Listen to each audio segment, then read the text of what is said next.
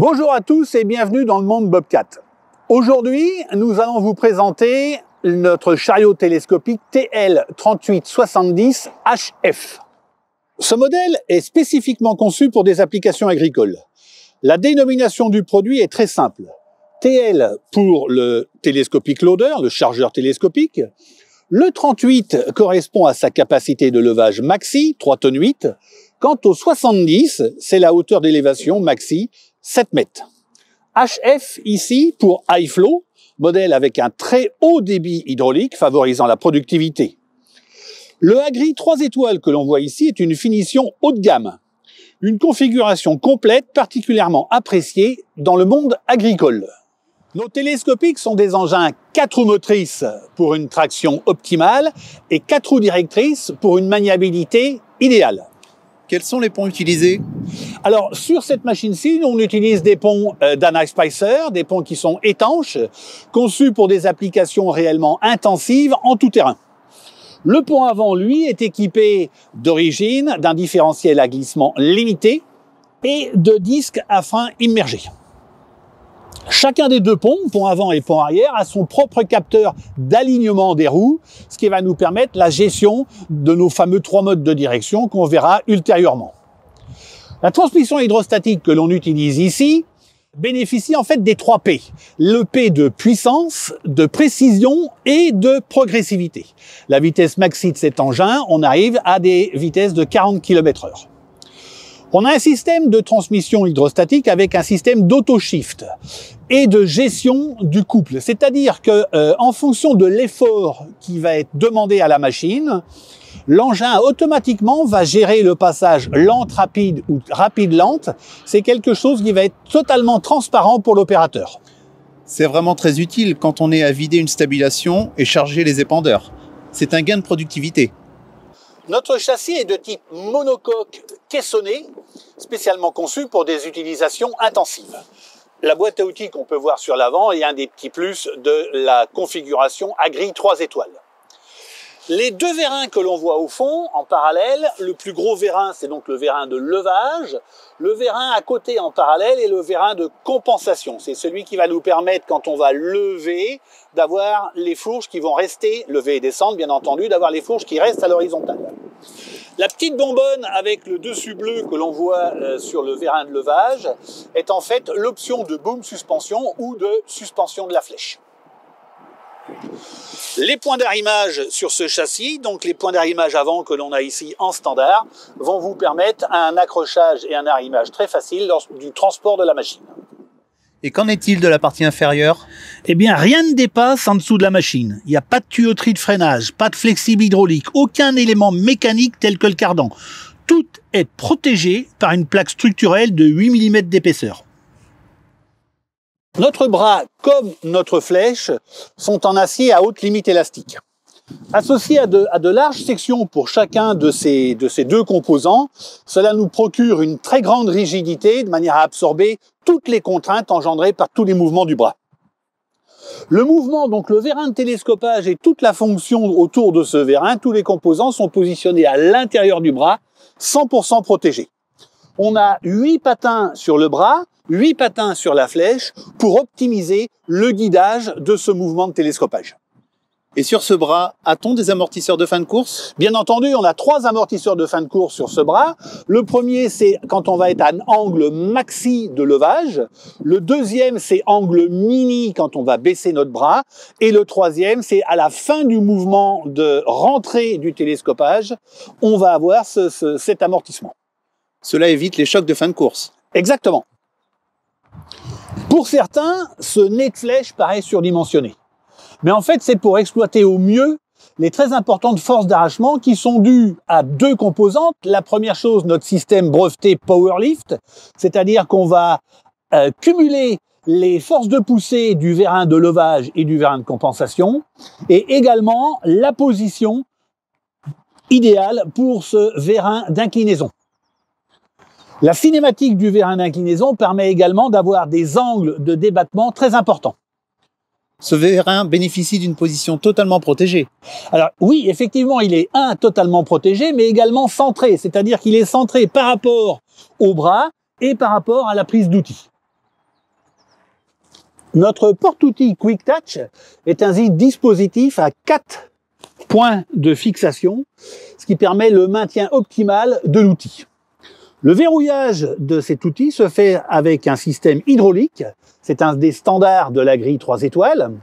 Ce verrouillage hydraulique est quelque chose de simple, de 100% sécuritaire et de surtout très rapide pour l'opérateur. Peut-on avoir d'autres types de tabliers? Oui, deux tabliers sont disponibles également, deux tabliers que l'on retrouve chez deux autres fabricants de chariots télescopiques. La ligne hydraulique auxiliaire est bien entendu un standard. Cette ligne, elle est double effet avec un drain également intégré. Cet ensemble monobloc, comme on peut le voir, est vraiment totalement protégé et bénéficie d'une connectique avec un système de dépressurisation, c'est-à-dire que je ne demande aucun effort quand je vais vouloir décrocher mon accessoire. De quel débit je peux disposer pour piloter mes équipements?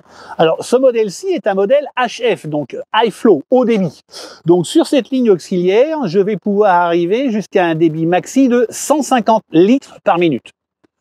Ce, débit maxi, je peux le gérer, je peux le calibrer, c'est ce qu'on appelle l'auxiliary flow management, on, on, le verra ça un petit peu ultérieurement, et je vais pouvoir calibrer ça pour gérer mes mouvements ici. Avons-nous une prise électrique? Alors oui, la prise électrique est ici, c'est une prise 7 broches, c'est une prise qu'on appelle ACD, euh, et en fait ça va nous permettre de piloter différents mouvements. Si l'accessoire hydraulique que l'on a à l'avant de l'outil demande 2, 3 ou 4 mouvements. Comme on peut le constater, la position d'accrochage du bras est idéale pour que, même en position route, donc comme ici avec un, accessoire aux alentours à 40 cm du sol, de garder depuis le poste de l'opérateur une très très bonne visibilité sur le gabarit de la machine et la roue avant droite, ainsi que sur le, tout le côté latéral droit de l'engin.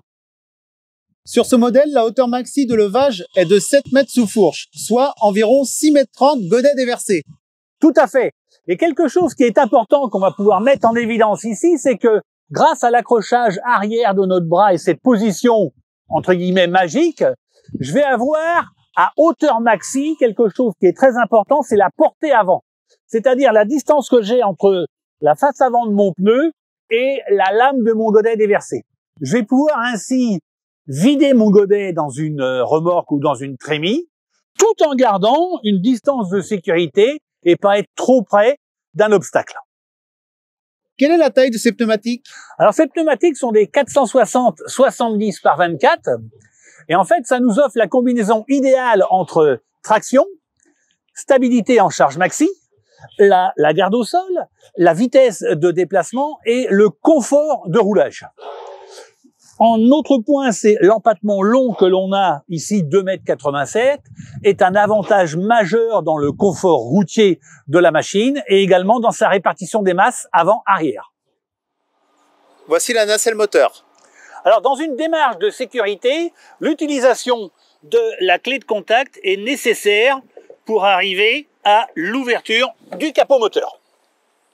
Donc là, on arrive sur un, accès total à cette nacelle moteur ce fameux moteur Bobcat, donc de 3 litres 4 de cylindrée, qui développe 97 kW ou 130 chevaux. En bout de ce moteur turbo compressé, on va retrouver notre pompe hydrostatique et en bout de la pompe hydrostatique, notre pompe d'équipement, donc la pompe high flow, qui elle a un débit global de 190 litres minute avec 255 bars de pression.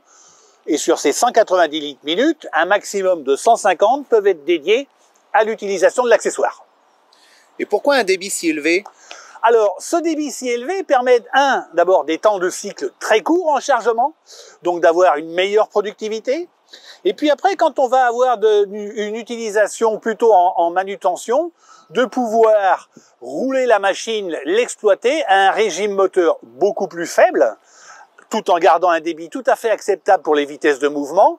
Ce débit plus faible va entraîner bien entendu une consommation de carburant réduite et un coût d'exploitation inférieur pour l'utilisateur de ce télescopique Bobcat. C'est le réservoir d'AdBlue à l'avant? Alors oui, au bleu, là, avec le, petit, bouchon bleu, c'est notre réservoir d'AdBlue, réservoir de 12 litres de capacité. Et ces 12 litres de capacité sont suffisants pour avoir une grande autonomie de travail. Notre dispositif de refroidissement peut se résumer en trois points. Le premier point, c'est un bloc radiateur, donc un bloc unique, où on va avoir le radiateur eau, air, huile. Au-dessus de ce bloc-là, un petit radiateur qui lui est dédié au carburant, le radiateur ici en noir, dédié à la climatisation. Cette climatisation est d'origine sur les versions à gris 3 étoiles. Le deuxième point, c'est le, côté deux compartiments qui sont bien isolés avec vraiment de, très bons joints entre le compartiment froid et le compartiment chaud. Il n'y a pas de, recyclage d'air de l'un par rapport à l'autre. Et le troisième point, c'est on a travaillé là-dessus sur le flux d'air. Donc on va avoir un ventilateur euh, hydraulique qui est en dessous, qui est aspirant, qui va nous aspirer l'air frais qui vient de l'avant dessus de la machine, passage au niveau du faisceau des radiateurs, et qui va ressortir sur l'arrière de la machine, l'arrière haut de la machine, de manière à pas créer de poussière quand on va utiliser cette machine-là, par exemple dans des stabulations. Ce ventilateur est également d'origine dans cette version Agri 3 étoiles, muni d'un inverseur de ventilateur pour pouvoir décolmater et le faisceau du radiateur et la grille avec une opération, un décolmatage qui va se faire soit manuellement depuis la cabine, soit d'une manière automatique, comme l'opérateur le souhaite. Qu'en est-il de la maintenance? Eh bien, on a vu qu'on avait un accès vraiment total tous les points de maintenance sont réellement accessibles. J'en veux pour preuve, alors maintenance hebdomadaire ou maintenance quotidienne, j'en veux pour preuve par exemple notre, notre filtre à air ici, eh bien j'arrive directement à pouvoir enlever et pouvoir décolmater la première cartouche. On peut le constater ici, il y a une deuxième cartouche qui est en standard sur la machine. Les pneus arrière passent-ils dans les traces des pneus avant? Affirmatif. Et comme ils passent dans les traces des pneus avant, ça permet d'optimiser l'effort de traction. L'angle de braquage que l'on a ici également permet de faire passer toute l'arrière de la machine dans le rayon externe du pneu.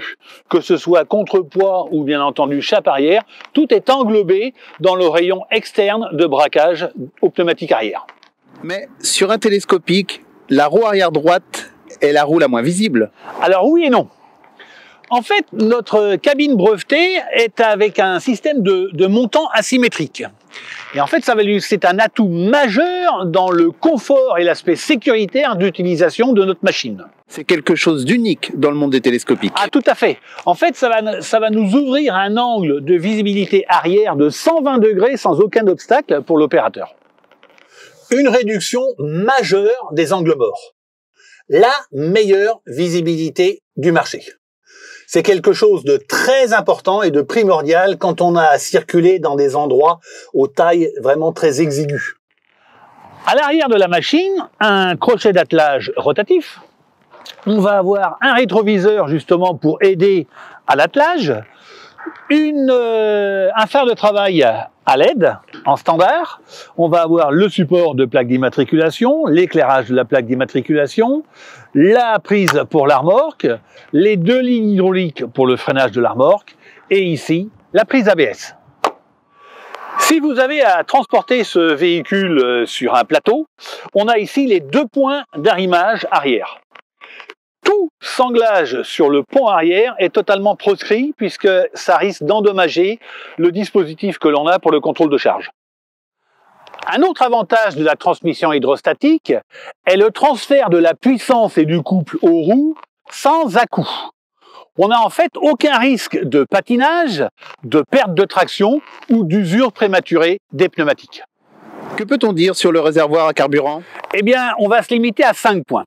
Le premier point, c'est sa matière. Il est en polypropylène, donc ça va éviter tout risque de condensation ou de corrosion à l'intérieur. Le deuxième point, c'est sa capacité de 138 litres. Donc ça va lui euh, donner une grande autonomie de travail à la machine. Le troisième point, c'est sa position extrêmement basse par rapport à la machine. Donc on va réduire la position, descendre la position du centre de gravité. Le quatrième point, c'est le bon positionnement du bouchon. Donc quand on va avoir à le remplir sur site.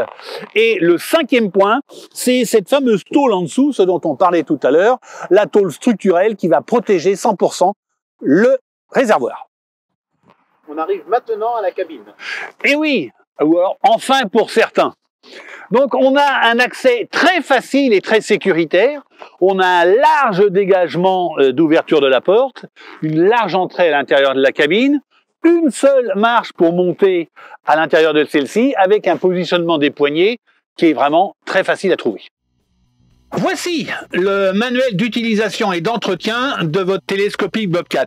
À l'intérieur, vous allez retrouver toutes les instructions concernant l'utilisation et la maintenance de votre engin télescopique en toute sécurité. Lisez-le attentivement avant la mise en route de votre machine. Eh bien, nous voici à la fin de cette présentation. J'espère que les choix technologiques et les avantages spécifiques à ce TL3870 dans sa HF, dans sa configuration agri toise étoile vous ont satisfait. Merci de votre temps et de votre écoute et à très bientôt pour un prochain walk around sur un autre produit de la gamme Bobcat.